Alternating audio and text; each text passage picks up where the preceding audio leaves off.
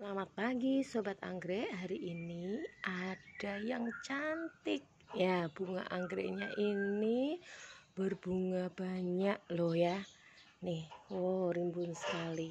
Yang ini ada lima kuntum Yang ini delapan kuntum ya. Wow keren ya. Cantik sekali. Padahal ini kemarin habis saya potong. Ini ternyata termasuk rajin berbunga. Jadi waktu beli saya nggak tahu ini bunganya apa tapi ternyata indah seperti ini ya.